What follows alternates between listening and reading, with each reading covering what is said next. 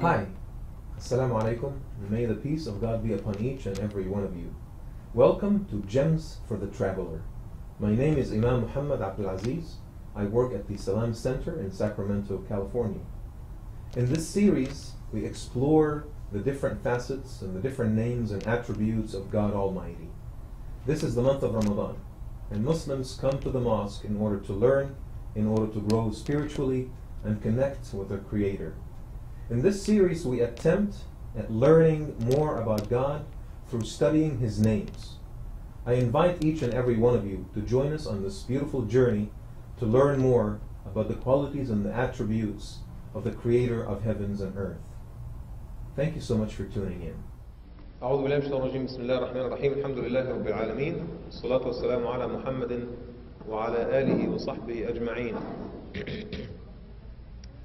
uh, Tonight uh, we actually uh, remember uh, an incredible event uh, that took place uh, in Islamic history a transformative event, an event that changed uh, everything uh, that happened in Ramadan uh, some 1420 years ago. The scholars say uh, from رعاية الأغنام إلى from رعاية الأمم إلى قيادة الأمم uh, from herding sheep to the leadership of nations and uh, we see what happened after the conquest of Mecca and the establishment of the state. We see uh, uh, the establishment of government on, on rules of justice. We see uh, uh, uh, science and technology, the translation of all Greek works.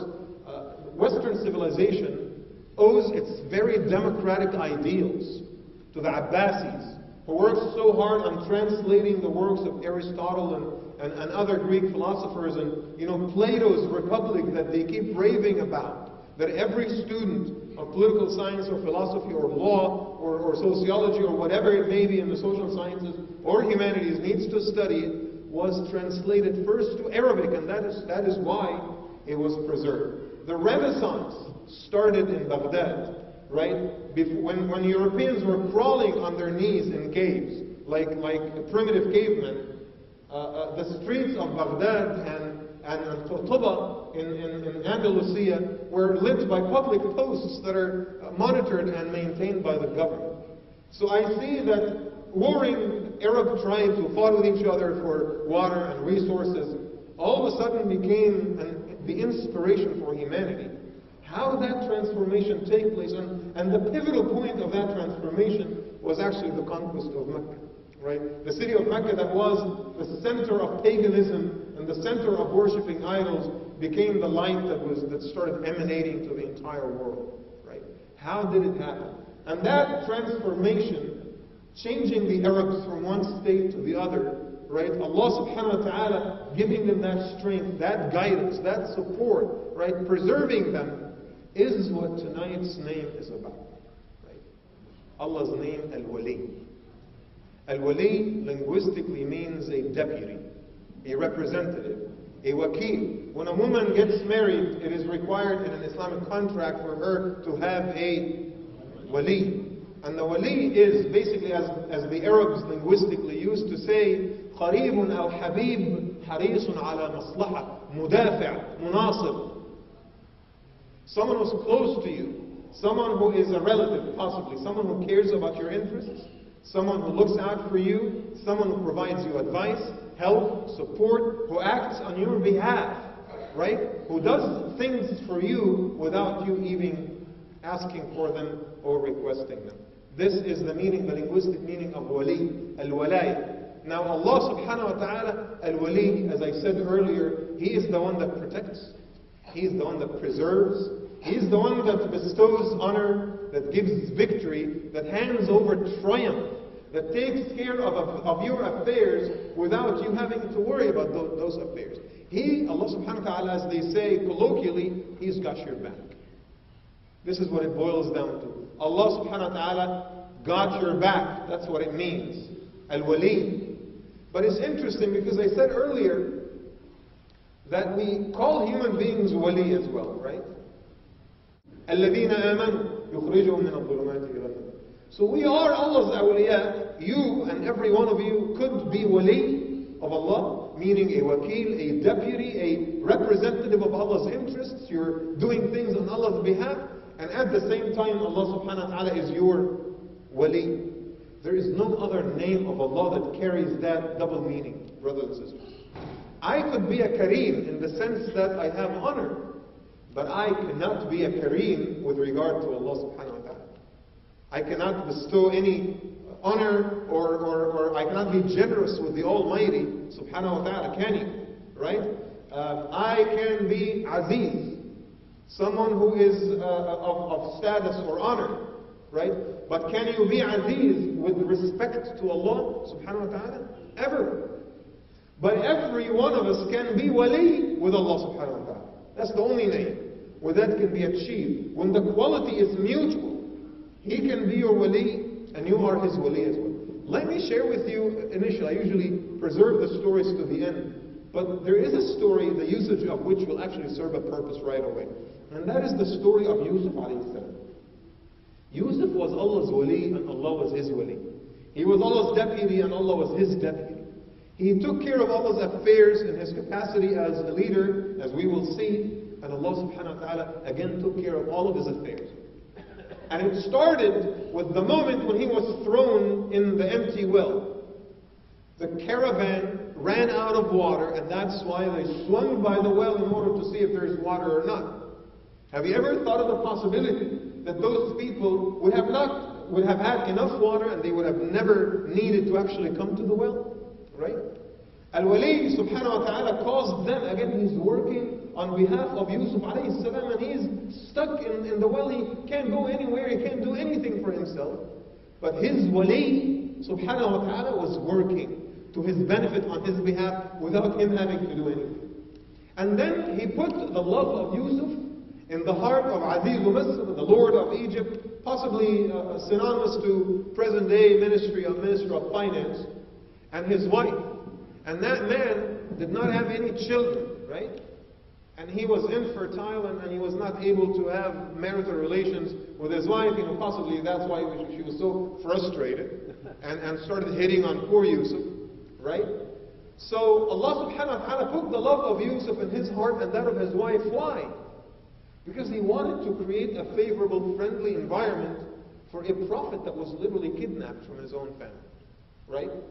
And then Allah subhanahu wa ta'ala causes the king to have a dream. And all of the aides and the advisors of the king, they failed to actually interpret the dream. I mean, think about it. One of them could have just gone up to the king and said, you know what, yes, I have the interpretation of your dream. And just make something up. Rather, they were honest with the king and they said, ما نحن بتأويل الأحلام Right? We, we have no idea. We don't know about this whole uh, interpreting the, uh, the dreams business. It's just not my our thing. So Allah subhanahu wa ta'ala causes, Allah subhanahu wa ta'ala causes the, the king to declare his desire to have someone who can interpret the dreams, and that's how Yusuf alayhi salam was released from prison. All of that in order to achieve what? In order to position Yusuf alayhi salam, see, al-wali is at work for you. And he positions Yusuf alayhi salam to eventually become the minister of finance of Egypt himself. In order for him to start becoming the wali of Allah subhanahu wa ta'ala. To take care of the affairs of his people, to make da'wah to the people of Egypt. And I, I say he's in a position of leadership. I say to everyone and anyone in a position of leadership, you are in essence a wali of Allah subhanahu wa ta'ala. Because you're his deputy. You take care of his affairs. And taking care of the affairs of his people is part and parcel of taking care of his affairs subhanahu wa ta'ala. See, I'm shattering the myths we had in our minds about what wali or awliya actually meant. Right? And I wanted us to focus on the very last conclusion of the journey of Yusuf alayhi salam. At the very end of Surah Yusuf, he speaks to Allah subhanahu wa ta'ala. And then he says to Allah, رَبِّ قَدْ آتَيْتَنِي مِنَ الْمُلْكِ وَعَلَّمْتَنِي مِنْ تَأْوِيلِ الْأَحَادِيثِ فَاطِرَ السَّمَاوَاتِ وَالْأَرْضِ أَنْتَ وَلِيِّي فِي الدُّنْيَا وَالْآخِرَةِ That is the conclusion of the journey of, of Yusuf alayhi salam, acknowledging the role that Allah played in his life without him having to imagine the kind of issues and challenges and, and, and, and attacks and, and, and worries and plotting that is against you. every single day. You cannot be aware of all of that. You cannot protect yourself from, think of, of bacteria and viruses and illnesses and plagues. Think of, of, God forbid, you know, different forms of cancer that happen to people. Think of people who are jealous of you. Think of accidents that could happen. Loss of wealth and loss of life. All kinds of million, a million things could happen, but Al-Wali subhanahu wa ta'ala protects you from that. And I am leading this khatira to one notion, and that is how to become awliya of Allah. That's what I want. Because I want that blessing. I want that barakah. I want the protection. I want the hifz, the preservation of Allah subhanahu wa ta'ala. Remember the hadith that all of us are very, very familiar with. And this hadith basically uh, talks about awliya Allah Azza wa Jal. من عاد لي وليا فقد آذنته بالحرب.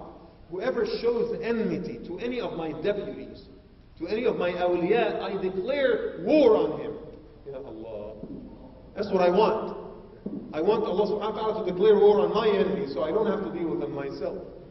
You know, as, as the Sahaba used to say in their dua, Allahumma ahlik al-zalimin bil-zalimin wa akhrijna min baynihim salimin. Right?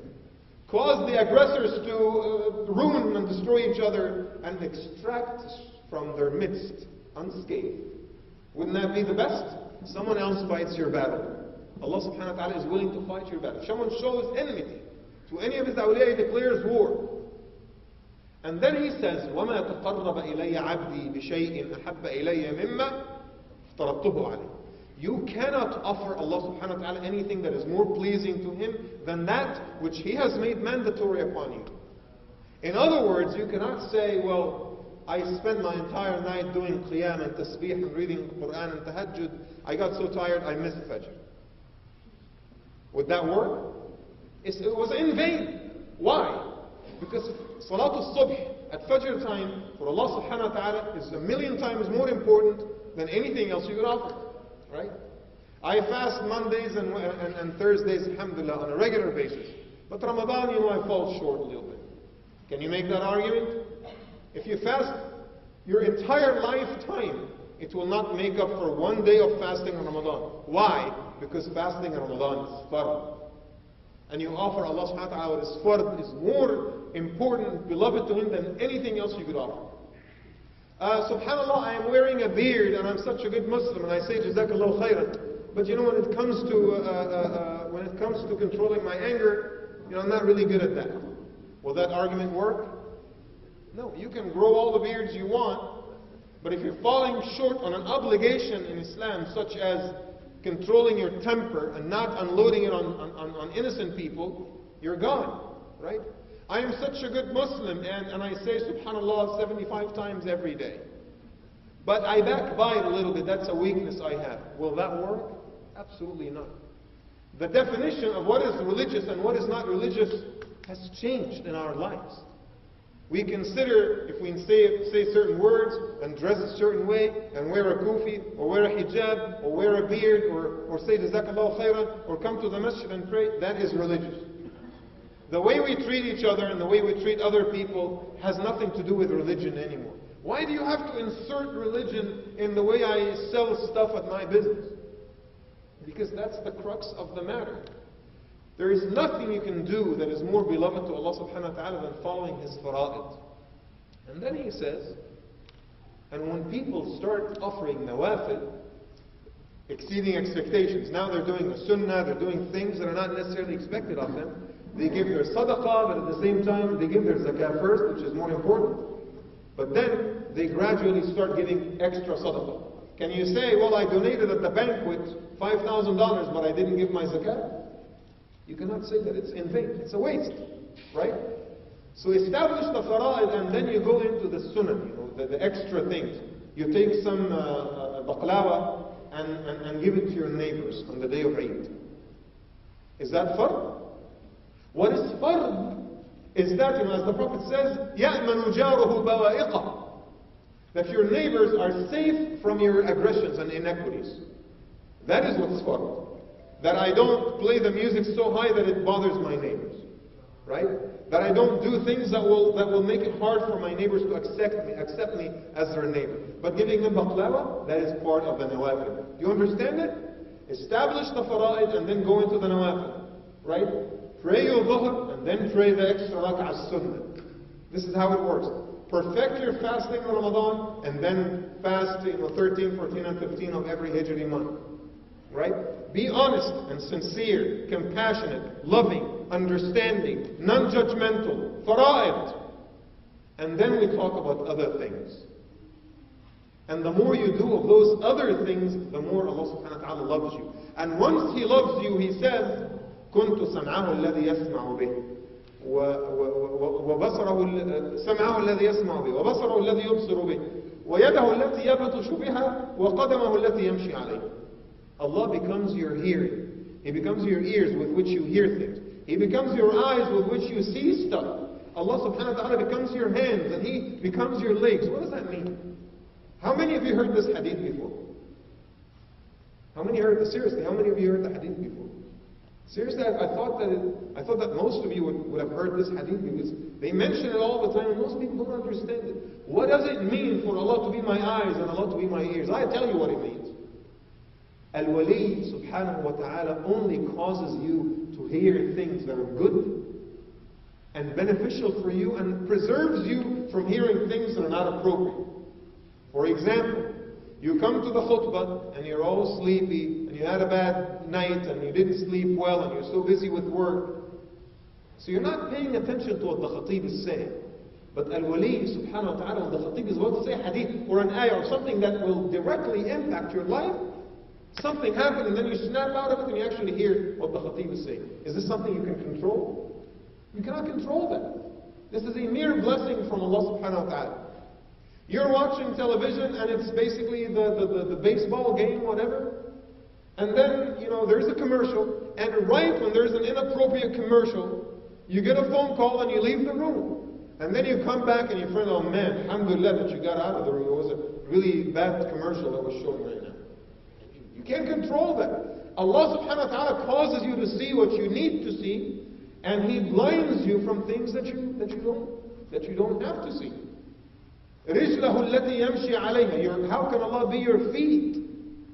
Imagine that you wanted to go to a, a concert or to a, a, movie or whatever it is with one of your friends, and then you're trying to buy tickets, and there are no more tickets left. Tickets left. And then afterwards you say, Alhamdulillah that I didn't go, and it was really not appropriate for me to be there. I'm glad that they ran out of tickets. This is how Allah works in your life. So you become invincible. You become like Superman. Right? You start making changes in your life and in the lives of people around you. Let me share with you some examples again to solidify, inshallah, this meaning. And I spoke with you about Ibrahim alayhi salam before, and Ibrahim, from one extreme of, of being in the midst of the fire, right? And Allah subhanahu wa ta'ala had to give instructions to the fire not to burn Ibrahim, to the other extreme of Allah telling Ibrahim, Inni ja'iluka linnasi imama. Subhanallah, he was fearful for his life, about to get charred in the fire, and then, yeah, Ibrahim, I will make you a guidance to people, a leader, someone to be followed, what happens today? The three organized, major organized religions of the world, they call themselves the, the Abrahamic religions. Why? because they all trace their heritage to Ibrahim alayhi who passed thousands and thousands of years ago. Al-Wali subhanahu wa ta'ala does that. Even after your death, you're still making a difference. Right? One of the Sahaba the Prophet his name was Al-Ala ibn Hadrami. And he was a really good negotiator and he was a great diplomat. So the Prophet sent him as a uh, messenger to the king of Bahrain. Right? So he goes there with a group of his uh, aides, and then he gets lost in the desert. And then they come to him after they have run out of water and food. They come to Ala in order to ask him, Ya Ala, what do we do now? We're going to die. So Ala does something very, very strange. He raises his hands and he says to Allah subhanahu wa ta'ala, Ya Rabb al-Alameen, أقسمت عليك أن تسقنا. How many of you, like, of Arab heritage, you can understand that? What I just said right now. How easy is that to translate to English? It's very difficult to translate this particular, and you know I translate almost everything. But this one, I thought long and hard about how to translate it. Ya Allah, aqsamtu alayka an tasqina. it is a way of imploring Allah subhanahu wa ta'ala, but it's all, it also means that you're taking an oath and you're expecting Allah to fulfill your oath. So you can say, I swear, or Wallahi, I will do this. Or you can say, Wallahi ya Allah, you will do this. Is that even appropriate? I mean, it, it, it doesn't sound appropriate, but people who are awliya of Allah Azza wa Jal, they reach that level of iman and devotion, and they have that expectation of Allah subhanahu wa ta'ala. Didn't I tell you you become invincible? You become like, like Superman. You become a superhero.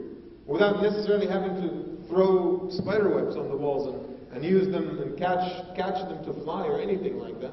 You, you will make a difference in your life and that of others by being a wali of Allah subhanahu wa ta'ala.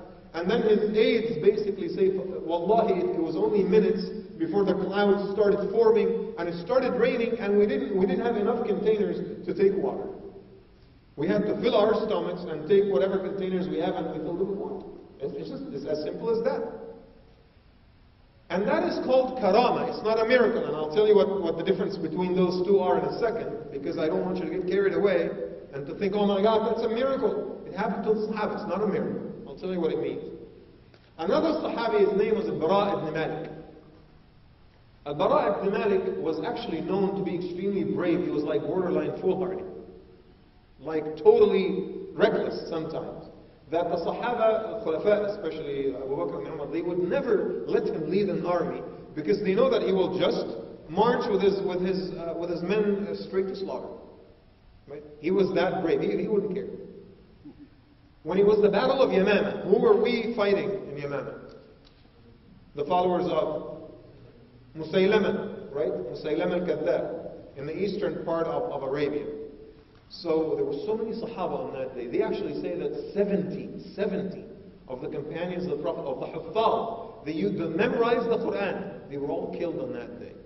It is one of the reasons actually prompted Abu Bakr as-Siddiq to collect all the Quran into one, into one book.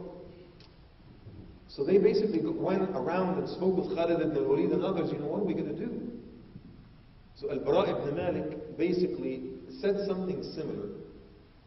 He said to him, يا أهل المدينة والله لا مدينة لكم. O people of Medina, there's no Medina for you. Are you worried about death because you want to go back to Medina? Well, guess what?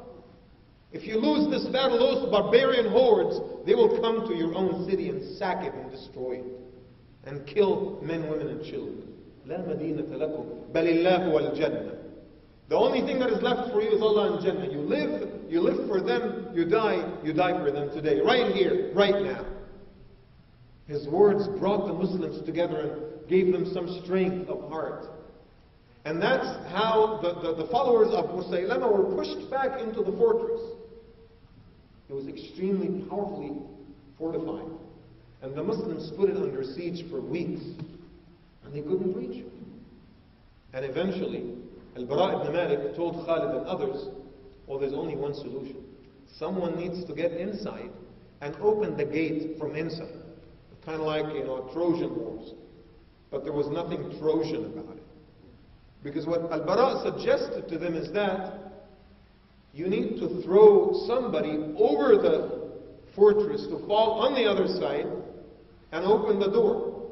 So they said, okay, first of all, we don't have any crazy companion who will agree to a suicide mission like that. Second, how on earth are we going to throw someone over the wall? Number three, how would he even survive the fall? Number four, he'll be surrounded by a thousand soldiers who will probably get to him before he gets to the gate. That's an insane idea. He said, you know what? First of all, I volunteer. so you don't have to worry about any crazy suicidal uh, member of our, of our army. Second of all, we have a catapult. You put me on the catapult and you release it and then whoop, it throws me over the fortress. I fall inside. and then I'll, I'll open the gate. I said, you totally lost your mind, right? And he said, No, no. Allah waliyi, Allah yahmi. My wali, Allah subhanahu wa ta'ala will protect me. See, you cannot reach a level, I promise you. You cannot reach a level where you have that kind of confidence in Allah subhanahu wa ta'ala and He turns you down. The problem is, you never reach that level. You always approach it with, you know, I'm not sure if my iman is that strong, but I'm going to give it a try. right? But if you approach it the way Al-Bara ibn Malik approached it, or the way Ala al-Hadrami approached it, Ya Allah, you do this for me right now. Because in your, in your Quran you said that you accept the dua, and we are in a position of need. You do your part, I do my part. End of story. Because if Allah does not respond, that will basically shake your iman completely. But if your iman is weak, and Allah doesn't respond, you will always say to yourself, well, my iman is weak. That's probably why Allah did not answer my prayer. But if your iman is solid, Allah subhanahu wa ta'ala will technically have no choice but to give you what you ask for. So they catapult Al-Bara ibn Malik into the fortress, and he falls on the roof, he breaks an arm, and from the roof he falls like three stories down, and like 25 soldiers, of course, they took everyone by surprise. He fights them with his other arm, with a small dagger he had, and, and he was able to kill a couple and hurt the rest, and he actually ran to the gate, opened it up, and the Muslims were able to enter. And that's how Yamama fell. That's how he fell. And he didn't die that day. He didn't die. He survived. He actually died later on as a shaheed in, in, in one of the battles in, in Persia. But that is al-walaya, brothers and sisters. And some of you might say, well, that's a miracle, right? Is that a miracle? It's not a miracle. A man flying over a fortress and falling and not dying, is that possible or not? It's possible. It's very unlikely, but it's possible. If you fall on a big, huge mattress, you're not going to die. Right? If you fall follow the right angle on the right spot and, and, and, and kind of roll over a certain way, you're not going to die. You might not even break anything. And that's the definition of karam. As opposed to carving out a, a camel from the mountain. Is that a miracle or a karam? That's a miracle because it literally defies the, the rules of science. No science can explain it whatsoever. But the karama could happen. The karama is about Allah subhanahu wa ta'ala aligning certain circumstances to your benefit and to your favor to help you get certain things done that where your limited human knowledge and abilities you're not able to. This is al-walaya, brothers and sisters. And it is a state of iman that is so hard to attain. You might live your entire lifetime trying to get there. And you may or may not be able to. But once you get there, you will do things in your life that you never thought possible. But it only takes three things, as I said earlier. Establish the fara'id of Allah subhanahu wa ta'ala. And then establish the nawafil and all the sunan and be in the service of others. Kun waliyan linnas, as the Sahaba used to say. Be yourself wali to other people. Take care of their affairs. Help them out. Never let them down when they ask you for help. A brother is moving from one apartment to the other. Uh, some help to be done at the masjid. Uh, someone who is sick at the hospital and needs to be visited. Uh, a family dispute that needs someone to mediate. Always, always, always be in the service of others. Allah subhanahu wa ta'ala will be in your service. كان الله في عون العبد ما كان العبد في عون أخيه. I ask Allah subhanahu wa ta'ala to accept our good deeds and to forgive our sins and to be our wali, to be our preserver, to be our protector, to be the source of our guidance, and the one who handles victory. I ask Allah subhanahu wa ta'ala to make us among those who persevere down this His path in the life of this world, and those who are admitted to His Jannah on the day of judgment. Allahumma ameen. أقول قولي هذا وأستغفر الله لي ولكم وقوموا إلى صلاتكم. Thank you so much for listening, and I hope you enjoyed this episode of Gems for the Traveler. Uh, if you have any questions about the material you just watched, or if you would like to come to Salam in order to join us for one of the services, please visit our website at www.salamcenter.org, or you can visit my Facebook page www.facebook.com slash Imam Azeez. I hope that this episode touched your hearts spiritually as it did ours. God bless you all, and thank you.